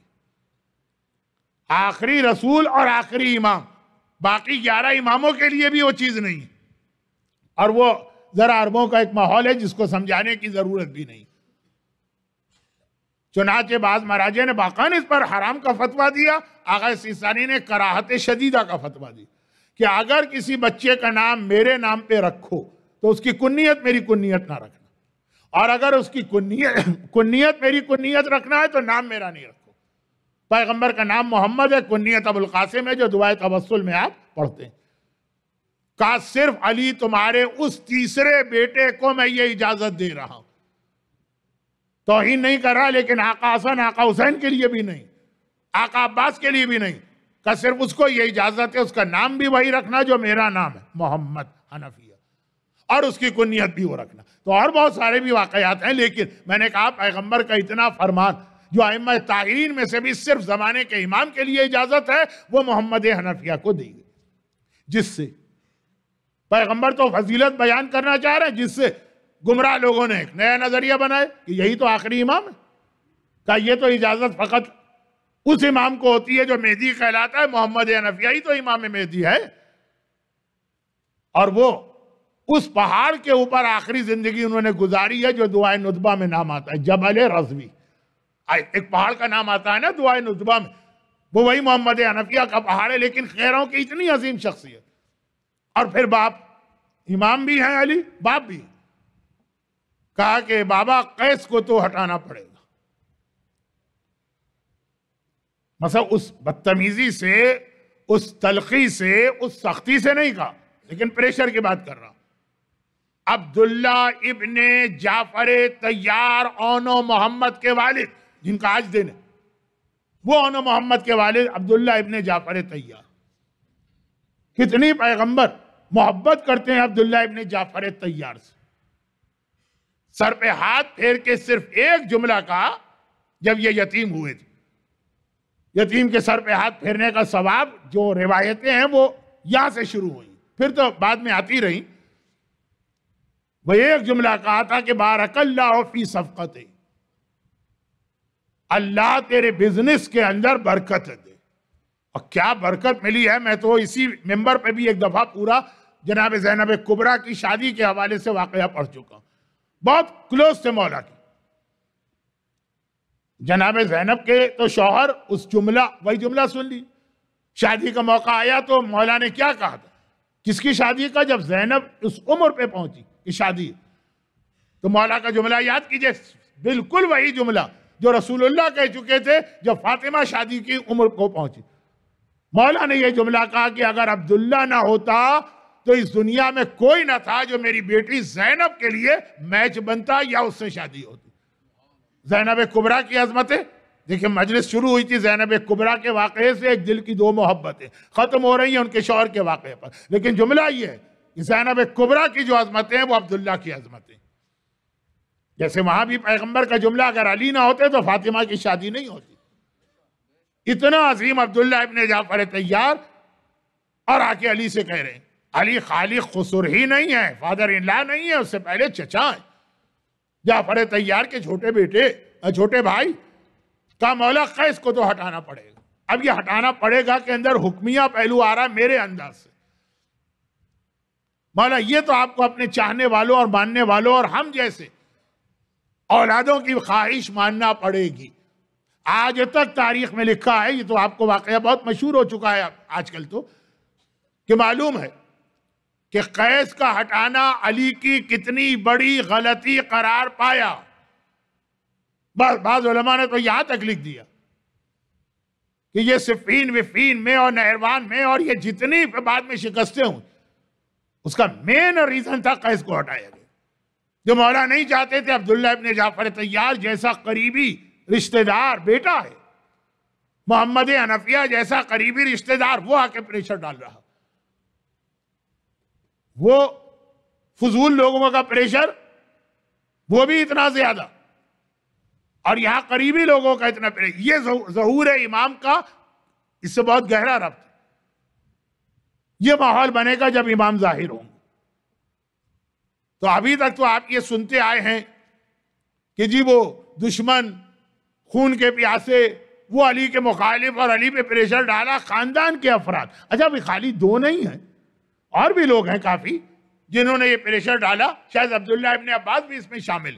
میں بھول گیا، واقعہ بہت مشہور ہے، آپ کو یاد آ گیا، آپ کو یاد ہوگا۔ اتنے قریبی افراد کہ ایک ایسا ماحول بنتا ہے کہ جب مولا کا ایک جملہ آیا، اس جملے سے ایک فارمولا سنی اور آج کی مجلس ختم۔ ویکینڈ کی مجلس تھی تو میں نے پندرہ منٹ زیادہ لے لی۔ یہ میں نے نہیں کہا، ایک گھنٹے پر پندرہ منٹ زیادہ لی تو ویسے ہی میں روزانہ سوا گھنٹہ پڑھ رہا ہوں، اس پر میں نے پندرہ منٹ زیادہ لیے، لیکن صرف دو جملے، عقل سے یہ دو جملوں کی تشریح۔ مولا نے فرمایا، کاش میرے ہاتھ آزاد ہوتے فیصلہ کرنے میں۔ یہ علی کہہ رہے تو کس نے علی کے ہاتھ باندھے ہوئے ہیں؟ کیا اس کائنات میں کوئی ایسا پیدا ہوا ہے جو علی کے ہاتھ باندھ سکتا پروردگار۔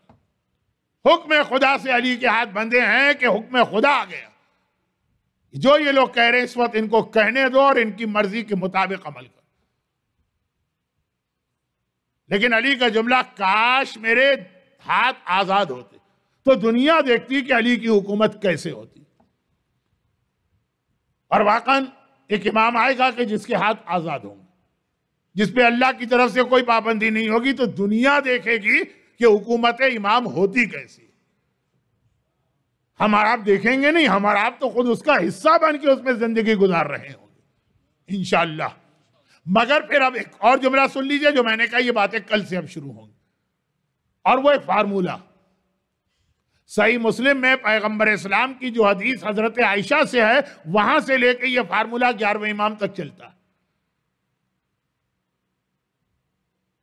حضرت عائشہ سے جملہ کہا تھا نا رسول اللہ۔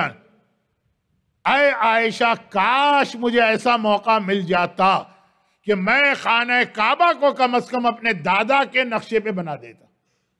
کاش۔ لیکن کیا کروں؟ لولا قوموں کی حدیث بعہد الاسلام۔ تیری قوم ابھی نئی نئی اسلام لائی ہے۔ میں ابراہیم کے مطابق بناؤں گا کعبہ اور اس کے نقصانات اور زیادہ آئیں گے سامنے یہ پیغمبر سے لفظ شروع ہوا کاش۔ اور گیارہویں امام تک کئی جگہ پہ یہ لفظ آیا۔ اب فارمولا سنیے کل وضاحت۔ جب کبھی کوئی امام معصوم، بلکہ اللہ کا رسول بھی ملا لیجیے، کوئی بھی معصوم لفظ کاش استعمال کرے۔ کاش کا مطلب یہ ہے کہ کام کر دل چاہ رہا تھا، نہیں کر پائے بس یہ یاد رکھیے کہ وہ سارے کام زمانے کے امام کو کرنا ہے اور وہ کریں گے۔ جو بھی مولا نے اگر کبھی کہا، کاش یہ کام کا مجھے موقع ملتا، علی کا بیٹا زمانے کا امام آ کے اسی کام کو انجام دے۔ اگر آقا حسین نے کبھی کہا ہو، اور سب نے کہا کہ کاش مجھے موقع ملتا اور میں یہ عمل کرتا، وہ کام زمانے کا امام آ کے انجام دے۔ لیکن آغاز ہوگا پیغمبر اسلام کے کاش سے۔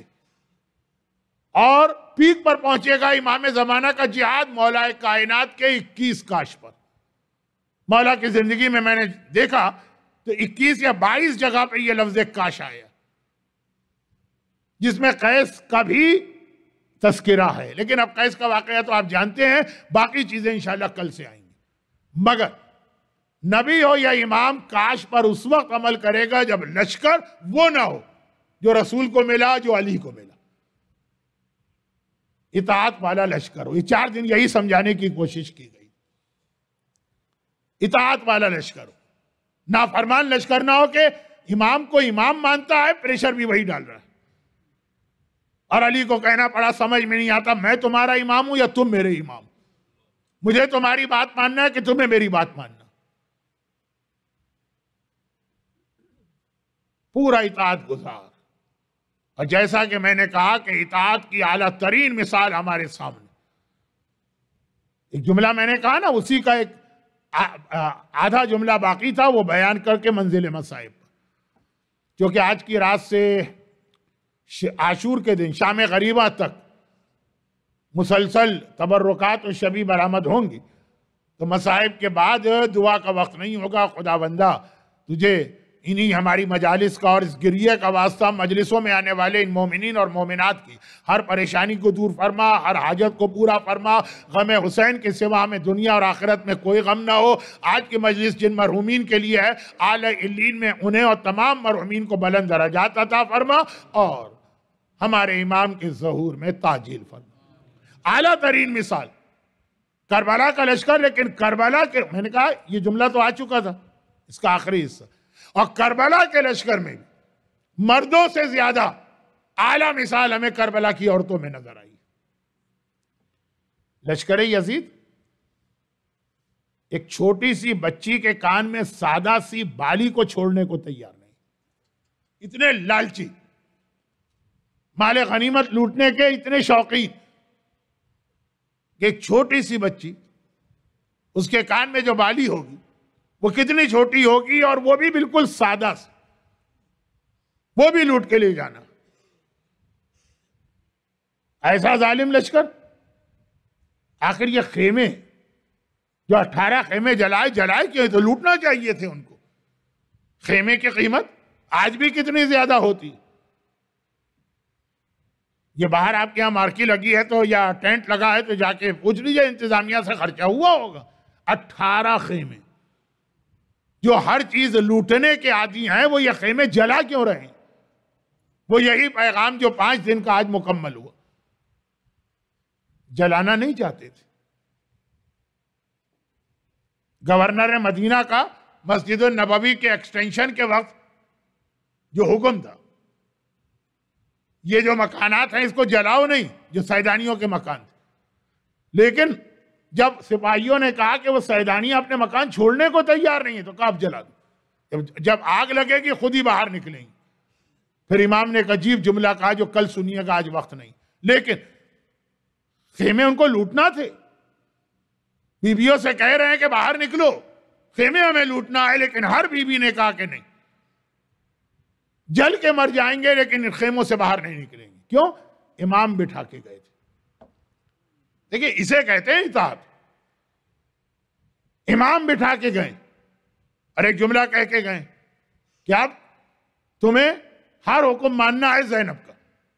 تو اب امام نے بٹھایا ہے، یا تو امام اجازت دے دیتے باہر جانے کی، یا جسے مقرر کیا وہ زینب اجازت دے دے جب آجز آ گیا لشکر یزید سیدانیوں کے اس اسرار پر، تب جا کے خیموں میں آگ لگے کہ آگ لگے گی، خود ہی باہر نکلیں اور وہاں بھی آپ دیکھیں، یہی جملہ کہا کہ نہیں کہا۔ آخری خیمے میں بھی جب بیویاں جمع ہو گئیں، تب بھی باہر نہیں نکلی شہزادی، اگر آپ کہیں تو ہم یہاں جل کے مر جائیں۔ آقا حسین بٹھا کے گئے یا اگر آپ کہیں تو باہر نکلے، کیونکہ آپ کو اپنے بعد آپ کو ہمارا قائد یا ریبر بنا کے گئے کربلا کی سیدانیوں تک میں آپ کو اطاعت کا وہ جذبہ نظر آئے۔ گا کہ اس کا ذرا سا حصہ بھی ہم پہ آ جائے تو آج صبح امام آ جائے باقی اب یہ باقی باتیں کل ہوں اور جب کربلا کی سیدانیوں کی بات آتی۔ تو جو ہمارے سامنے سب سے پہلا نام آتا ہے زینب، ایک کوبرا کا۔ یاد رکھیے، محبتیں دو طرفہ ہوتی ہیں۔ جو خلوص والی محبتیں دو طرفہ ہوتی ہیں۔ زینب کو حسین کے اکبر سے کتنی محبت ہے۔ کل آنے والی رات شہزادہ علی اکبر کی رات ہے یہاں کے اسکیجول کے حساب سے۔ مگر یہ یک طرفہ نہیں۔ اتنی محبت حسین کو زینب کے لال اور محمد سے۔ بہن، بھائی کی اولاد سے محبت کرتی ہے تو بھائی بھی بہن کی اولاد سے اتنی ہی محبت کرتا۔ اور پھر کل کی مجلس جہاں پہ ختم ہوئی تھی، اس جملے سے رب دے رہا۔ ہوں والدین کا احترام اور خدمت۔ یہی عبداللہ ابن جعفر تیار، جن کا دو دفعہ آج نام ایسا آیا کہ میں اب تک ڈر رہا ہوں۔ کہ ایسا نہ ہو کہ ان کی توہین ہو گئی ہو یا کوئی نگیٹو پرسنالٹی میں نے ان کو بنا دیا ہو۔ جب آقا حسین مکے سے کربلا چلے تھے، تو آن اور محمد دونوں کو مکے میں چھوڑ کے گئے۔ تمہارا باپ ضعیف ہے، بیمار ہے اور وہ جو آنکھوں کا پرابلم میرے ساتھ جانے سے زیادہ تمہاری ذمہ داری ہے اپنے بوڑھے باپ کی خدمت کرنا۔ یہی جملہ امام زمانہ نے اس ظاہر سے کہا تھا، لیکن اب واقعات کا وقت نہیں ہے۔ پہلے ہی آج میں بہت معذرت خواہوں صرف ویکینڈ کی وجہ سے بیان ذرا لمبا ہو گیا۔ کہا، تمہاری زیادہ بڑی ذمہ داری یعنی کربلا سے بڑی ذمہ داری۔ امام زمانہ میں نے بھی یہی کہا تھا نا نوجوان سے، کربلا سے بڑی ذمہ داری تمہاری تمہارا باپ۔ اور یہ جملہ امام زمانہ کا۔ بعد میں آیا، پہلے تو خود آقا حسین کا جملہ تھا، بیٹا اون، بیٹا محمد۔ تمہارے باپ کو تمہاری ضرورت۔ یہ کہہ کر اون و محمد کو چھوڑ کے گئے۔ اور قافلہ چلا۔ لیکن ابھی زیادہ دور نہیں گیا۔ آج حج اور مکے کے حوالے سے بہت سی باتیں آ گئی تو یہ آخری بات بھی سن لیجیے کہ مکے کے بالکل قریب مسجد عائشہ۔ مسجد عمرہ ہے، اصل نام تو یہ۔ اور اب تو قریب کیا تو مکے کے اندر۔ لیکن وہاں پہ حسینی قافلہ پہنچا، وہ ہے کتنی دور؟ سامنے تو ہے۔ اور حسین نے قافلہ روک دیا۔ عباس قافلے کو روک دو۔ عباس کا کام وائے پوچھنا نہیں ہے۔ حکم آ گیا روک دیا صرف اگلا حکم سننے کے بعد ایک جملہ کہا تھا۔ اگلا حکم آیا عباس اور میرے لیے خیمہ یہاں پہ لگاؤ۔ خیمہ بھی لگ گیا، حسین خیمے میں چلے گئے۔ اب عباس آئے۔ کہا، آقا بس اتنا بتا دیجیے کہ سیدانیوں کے بھی خیمے لگا کے پورا قافلہ اتارا جائے۔ کہا کہ نہیں عباس، خالی یہ خیمہ لگے گا اور یہاں کیوں کھڑے ہو؟ باہر جاؤ۔ میرا مہمان آ رہا ہے، استقبال کر کے لاؤ۔ اب یہ کون مہمان ہے؟ لیکن جب عباس باہر گئے تو فوراً پہچان لیا۔ زینب کبرا کی شوہر عبداللہ ابن جعفر تیار، جو ضعیف بھی ہیں، بیمار بھی ہیں، اور آنکھوں کا بھی ایک بہت بڑا مسئلہ۔ وہ آ رہے ہیں۔ عظمت زینب کی وجہ سے عبداللہ ابن جعفر تیار کا احترام بہت زیادہ بڑھ گیا خاندان چنانچہ عباس پورے احترام کے ساتھ ان کا استقبال کر کے ان کو خود اپنے ساتھ خیمے میں لاتے عبداللہ ابن جعفر تیار نے پھر ایک مرتبہ بات دہرائی جو مدینے سے کہتے آ رہے ہیں۔ حسین، اگر میرے اختیار میں ہوتا، تیری پیشانی کے بال پکڑ کے تجھے روک لیتا، کوفے تو نہ جانے دیتا۔ یہ قیس کا جو واقعہ پیش آیا ہی کوفے ہی کا تو واقعہ ہے جہاں عبداللہ خود تھے۔ مجھے پتا ہے کوفہ کس شہر کا نام۔ لیکن یہ بھی مجھے معلوم ہے تو امام وقت، تو امام زمانہ۔ جو کرتا ہے حکم خدا سے کرتا ہے، اس لیے میں خاموش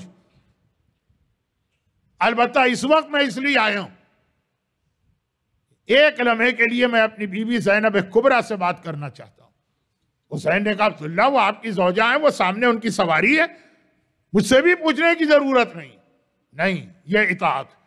بیوی سے بھی بات کرنا ہے تو پہلے امامت سے اجازت لی جا رہی۔ جو اطاعت تین، چار، پانچ دن سے مختلف اینگل سے سمجھا رہا تھا۔ حسین نے کہا، وہ آپ کی بیوی ہے وہ سامنے زینب کی ہماری ہے۔ کہا کہ نہیں، پہلے تو اس سے اجازت لینا، جب اجازت ملی تو وہاں پہنچی اچھا اب اتنی دیر میں زینب کبرا کو بھی پتا چل گیا کہ نہ صرف یہ کہ قافلہ رکا، بلکہ میرا شوہر خاص مکے سے یہاں تک آیا۔ اب دل میں ایک وسوسہ پیدا ہوا۔ وسوسہ، کیا ایسا تو نہیں؟ کہ ہم لوگوں کے مکہ چھوڑنے کے بعد کسی نے جا کے کوئی ایسی بات کہہ دی ہو کہ عبداللہ مجھے واپس لے جانے آئے بہرحال، اگر وہ روایت صحیح ہے کہ مولا نے شادی کے وقت ایک شرط رکھی تو الگ بات، ورنہ شریعت تو پھر شریعت ہے، حکم تو سب کے اوپر نافذ ہوتا۔ چنانچہ زینب کے دل میں یہ خیال اس تیزی کے ساتھ آیا کہ کہیں واپسی کی بات تو نہیں ہو رہی۔ کہ گھبرا گئی زینب، ابھی عبداللہ قریب آ کر صرف سلام کیا۔ السلام علیکم یا بنت رسول اللہ۔ اور زینب نے تڑپ کے جواب تو دیا، وعلیکم السلام یبن آخی یبن امی۔ جواب تو دیا، لیکن تڑپ کے کہا کہ اے عبداللہ، اگر مجھے واپس لے جانے کے لیے آئے ہیں، تو شریعت کے آگے زینب بولے گی نہیں، مگر زینب نہیں جا سکتی ہے، زینب کی میت جائے گی۔ زینب کا لاشا جائے گا۔ زندہ زینب تو بھائی سے الگ ہو کے نہیں جائے گی۔ ادھر عبداللہ سر سے پیر تک کانپ اٹھے۔ پتا ہے کہ زینب میری میری بیوی ہے لیکن یہ بھی پتا کہ زینب کا رتبہ کتنا بلند ہے۔ تڑپ کے کہا، شہزادی، میری یہ جسارت، میری یہ مجال کہ میں آپ کو اور کوئی حکم دوں۔ لیکن اس سے پہلے کہ عبداللہ کا پھر جملہ پورا ہو کہ آئے کیوں؟ صرف اتنا کہنا ہے کہ شہزادی آج خالی آپ کے دماغ میں ایک وسوسہ اور خیال آیا کہ ایسا تو نہیں کہ میرا شوہر مجھے واپس لے جانے آیا ہو تو آپ تڑپ گئی کہ بھائی سے الگ ہو کے بہن زندہ نہیں رہ سکتی جب عصر عاشور آخری سلام کے لیے حسین آئے اور کہا کہ بہن زینب پچپن برس کا ساتھ چھوٹ رہا ہے، اس وقت بہن کے دل پہ کیا قیامت گزری ہوگی؟ لیکن ابھی عبداللہ کا جملہ۔ ایک مرتبہ کہا کہ شہزادی میری یہ جسارت میری یہ مجال میری یہ ہمت کہ میں آپ کو حکم دوں۔ میں تو صرف اس لیے آیا ہوں کہ مجھے پتا ہے میرا آقا کہاں جا رہا۔ یہ کتنی خطرناک منزل ہے۔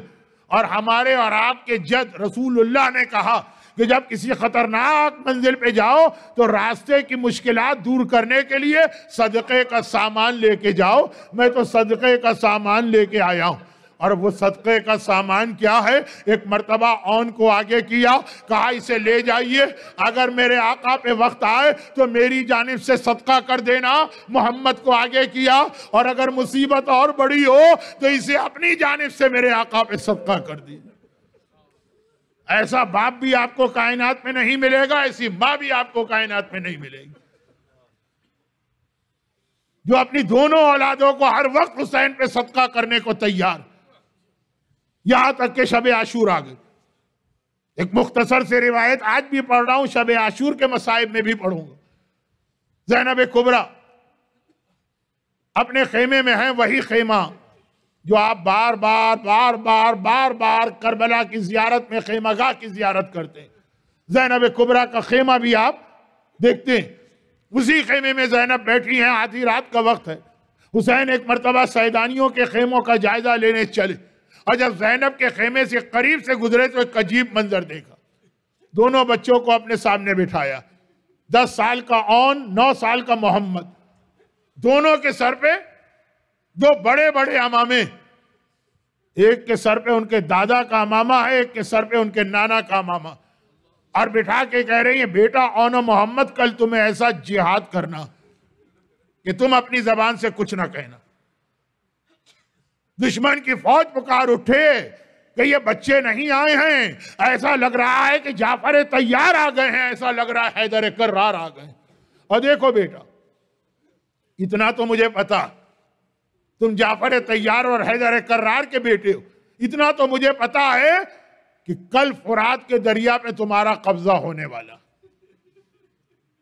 بس ایک نصیحت، ایک وسیعت ماں کی یاد رکھنا۔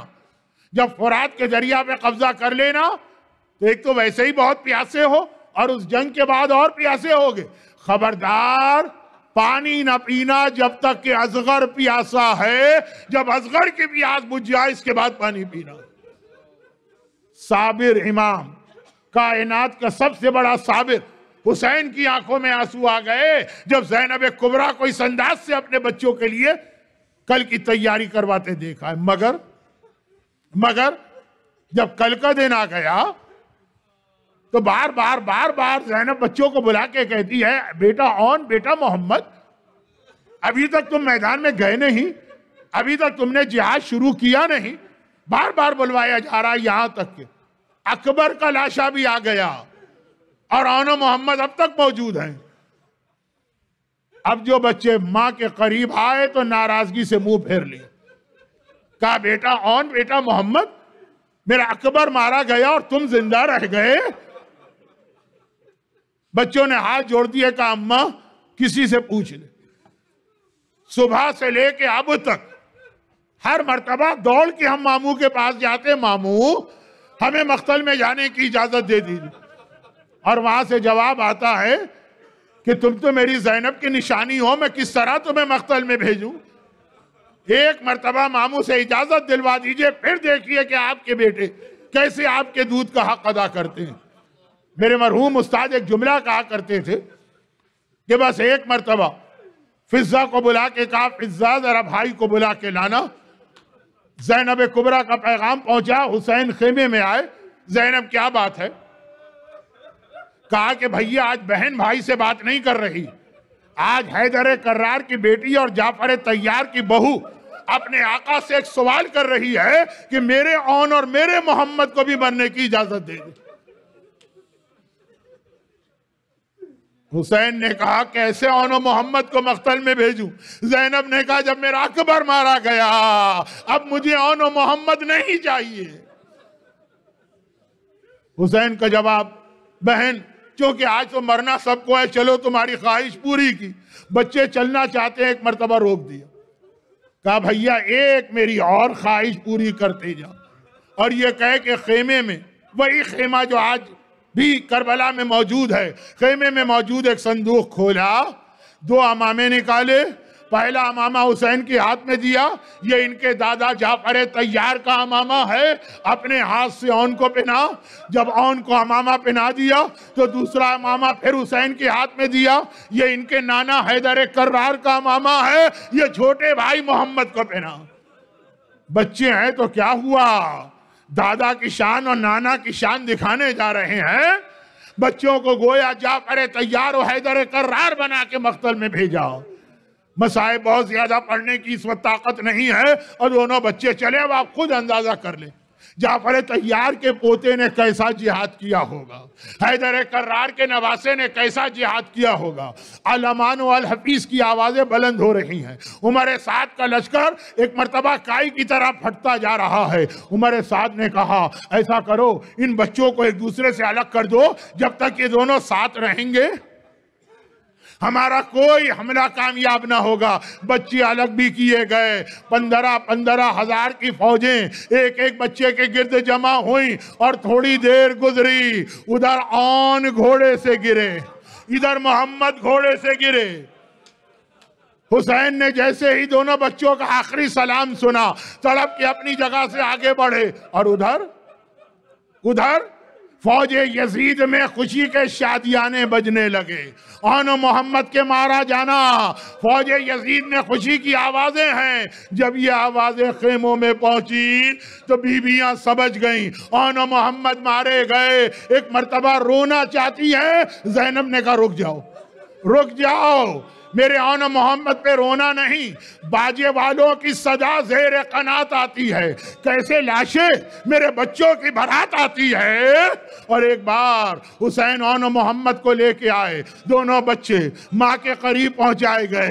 بہرحال زینب ماں تو ہے نا۔ دیکھا کہ دونوں بچے ماں کے قریب لے جائے گئے۔ اور بھائی نے کہا، بہن زینب میں نے تیری خواہش پوری کر دی، اب تو بھی میری یہ خواہش پوری کر دے۔ ایک مرتبہ تو اپنے بچوں کو کلیجے سے لگا لے۔ زینب جھکی، آن مر چکا تھا۔ محمد آخری سانسیں لے رہا ہے۔ زینب نے بیٹے کو کلیجے سے لگایا۔ محمد نے ایک بار آنکھیں کھولی، صرف ایک جملہ کہا، اماں، اب تو ہم سے راضی ہو گئی نا۔ اماں، اب تو ہم نے تیرے خون کا حق ادا کیا۔ ہائے آن، ہائے محمد، واہ اونا واہ محمد۔